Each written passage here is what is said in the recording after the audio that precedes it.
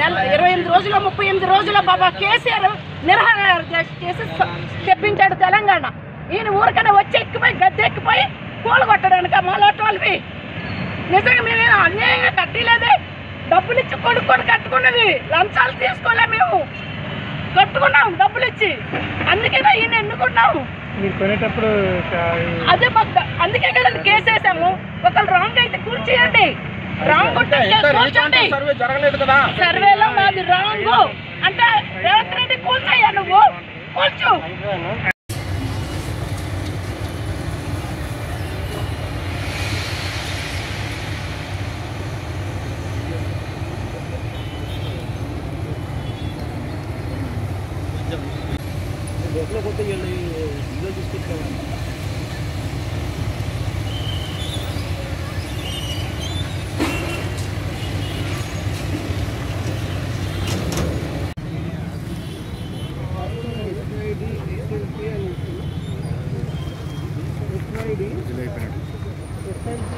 అన్నా అన్నా.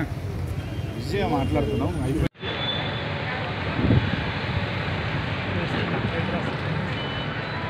Current connection తీసినారు. తీసేసి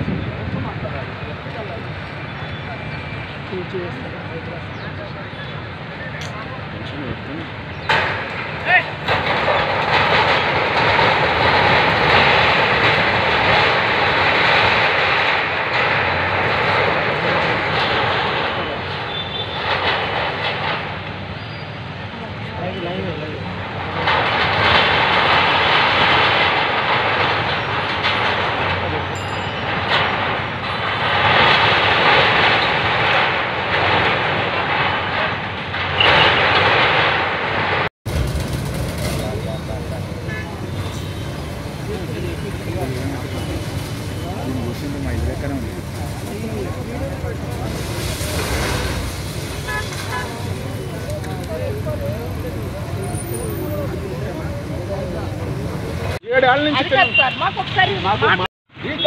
ఇప్పుడు చేయలేకపోయారు. ఎందుకని అక్కడ బిల్డింగ్ కూలగొట్టారు ఎఫ్టీఎల్ అని చెప్పి వాళ్ళు గవర్నమెంట్ ఉందని చేయలేకపోయారు దీని మీద స్టేటస్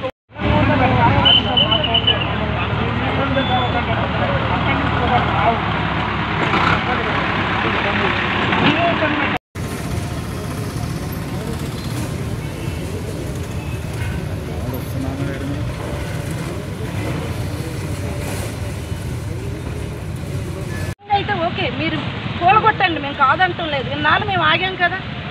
ఏడు సంవత్సరాల నుంచి కట్టకుండా ఉంచాం. సరే కోర్టుకి వెళ్ళాం. కోర్టు ఏ తీర్పిస్తే తీర్పు గవర్నమెంటే కదా ఏడు